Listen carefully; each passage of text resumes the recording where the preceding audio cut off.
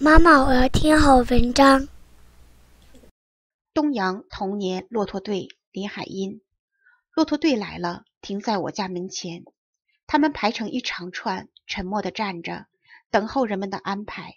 天气又干又冷，拉骆驼的摘下了他的毡帽，头上冒着热气，是一股白色的烟，融入干冷的空气中。爸爸在和他讲价钱。双峰的驼背上每匹都驮着两麻袋煤。拉骆驼的说：“他们从门头沟来，他们和骆驼是一步一步走来的。”爸爸和他讲好价钱了，人在卸煤，骆驼在吃草。我站在骆驼的面前，看他们咀嚼的样子，那样丑的脸，那样长的牙，那样安静的态度。咀嚼的时候，上牙和下牙交错的磨来磨去，大鼻孔里冒着热气。白沫子粘在胡须上，我看得呆了，自己的牙齿也动起来。老师教给我要学骆驼，沉得住气，看他从不着急，慢慢的走，慢慢的嚼，总会到的，总会吃饱的。骆驼队伍过来时，你会知道，打头的那一匹长脖子底下总会系着一个铃铛，走起来当当当的响。为什么要系一个铃铛？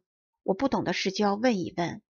爸爸告诉我，骆驼很怕狼，带上了铃铛，狼听见铃铛的声音就不敢侵犯了。我的幼稚心灵中却充满了和大人不同的想法。我对爸爸说：“不是的，爸，他们软软的脚掌走在软软的沙漠上。您不是说他们走上三天三夜都不喝一口水，只是不声不响地咀嚼着从胃里倒出来的食物吗？”一定是拉骆驼的人耐不住那长途寂寞的旅程，才给骆驼带上了铃铛，增加一些行路的情趣。爸爸想了想，笑笑说：“也许你的想法更美些。”冬天快过完了，春天就要来，太阳特别暖和，暖得让人想把棉袄脱下来，可不是吗？骆驼也脱掉了他的旧驼绒袍子了。它的毛皮一大块一大块的从身上掉下来，垂在肚皮底下。我真想拿把剪刀替他们剪一剪，因为太不整齐了。拉骆驼的人也一样，他们身上那件反穿大羊皮也都脱下来了，搭在骆驼背的小峰上。麻袋空了，铃铛在轻松的步伐里响得更清脆。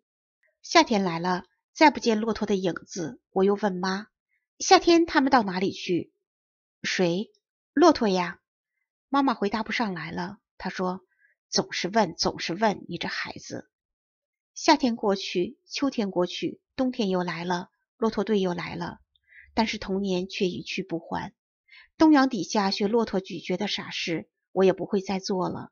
只是又看见东阳下的骆驼队走过来，又听见缓缓悦耳的铃声，童年重临于我的心头。